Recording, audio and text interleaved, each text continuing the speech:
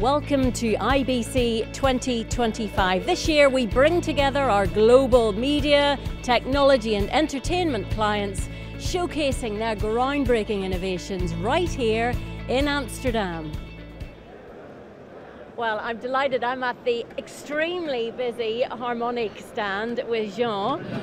What's the reason for all these people being here? Give us a little background to the company and, and why you stand out. So yes, yes, it's very busy. Uh, Harmonic is a video technology company. So what does that mean? That means we offer a video pipeline um, that that serves you know uh, streaming and broadcast workflows. So um, we try to always you know stay um, close to our market. That's why you have so many people. And, and the way we do this is we develop that video pipeline uh, as a cloud native common software that uh, basically we can deploy either as appliances uh, on premise, or we deploy that also as a SaaS in the public cloud. So um, what do we do? We do playout to encoding to streaming to ad insertion, right? Yeah. All of that uh, is part of our appliance and SaaS solutions, but really we specialize in solutions that deliver the best video quality, the best reliability at huge scale. That's what we do, and that's why you see so many people on the booth. So you, I like the way you say you stay close to your customer. You listen to your customer and you provide solutions. Is what it's about. Exactly. This is super important at IBC. You know, we, we want to take the pulse of the industry, know what's trending. You know, we try to anticipate, but there's nothing that beats talking to the customers. Okay, so my next question is what is trending? I barely need to ask it. The hottest topic in town is AI. Talk yes. to us about that. So I'll talk about AI, but if I might, you know, our, our booth, if you look over there, the big title is AI powered hybrid solutions. Yeah. So what is hybrid solution? That's the first trend I want to talk about. So when you look today at the, the video workflows that traditionally used to run on premise, they can run in the cloud now. There is no technical limitations, okay? Yeah. So that means that for our customers, the, the media company, the broadcasters, they, they decide the decision to run it on premise or in the cloud, it's first a business decision, okay? But they have that option. They, they have that option, of course. And the trend that we see is a lot of them, they actually want both. Yeah. So that means they want part of the workflow to be on premise, but they also want part of the workflow to be in the cloud. That's why we call hybrid. So okay. why do they want that hybrid option? Because they, they want that flexibility, because, because for economical reason, some component of the workflow, it makes more sense to run it on premise. Everything that is fixed dimension, you know, your baseline that you know is not going to grow, you don't need the elasticity, you run it on premise. And then whatever needs the elasticity, something that touches, for instance, the people connected to a streaming service that goes up and down depending on the number of people, you want to run that in the cloud. And so for us, Harmonic, because you know, we, we have a lot of innovation for both appliances and the SaaS, you know, we feel that we are perfectly positioned to offer those uh, hybrid solutions. So that's the first part. The second part was uh, AI, of course. So that's the growing trend, you know, more and more AI in the video workflows. And so uh, we keep adding more of those AI-powered capabilities. And with that, uh, we kind of do three things. We can deliver higher quality experiences we can you know, cut the operational cost, and we can also open new monetization opportunities. Okay, so solutions on many levels. When people are coming, flocking, I should say, to your stand, what kind of conversations are you having? What are you showcasing and what, what conversations are you having with customers?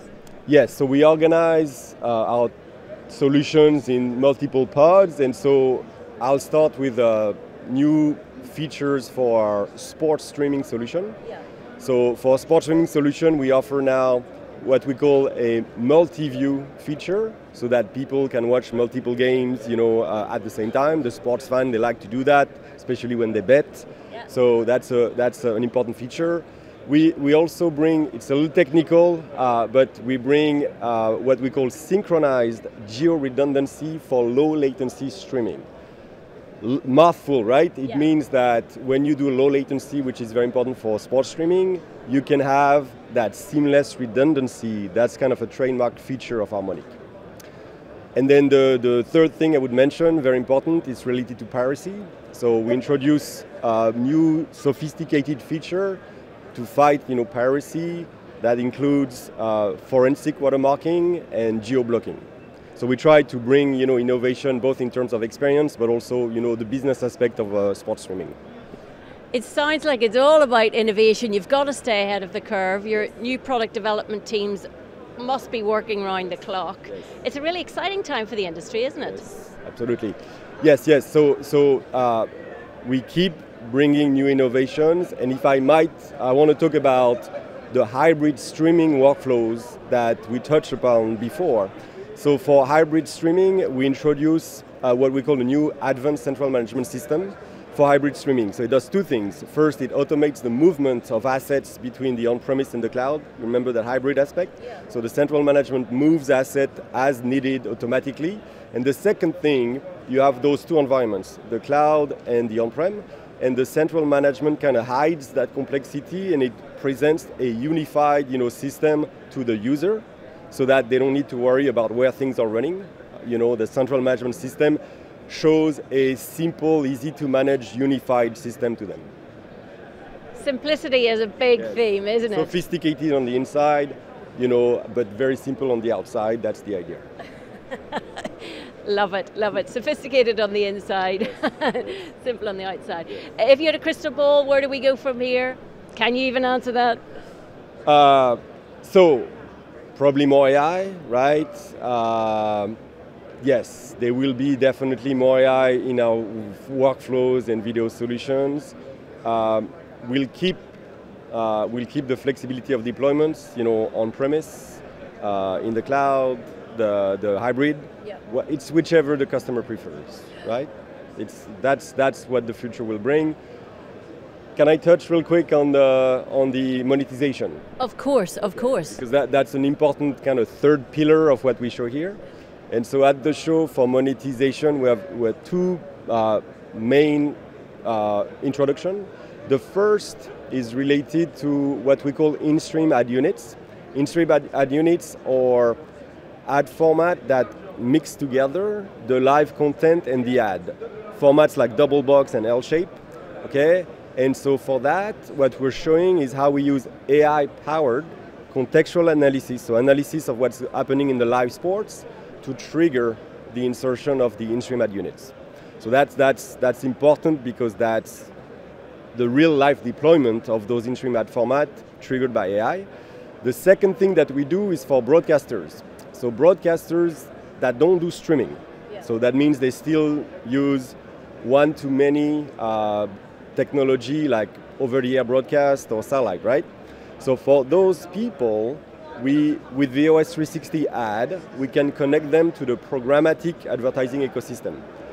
The idea is that they benefit from the efficiencies of programmatic, and also they can start tapping into the ad dollars of the digital buyers. So very important for our broadcaster uh, community. That's it. That's it. Well, listen, on that note, we'll leave it. Thank you so much for your time today. Good luck with the rest of the show, and uh, thanks for your time. Appreciate it. We'll be busy. Thank you.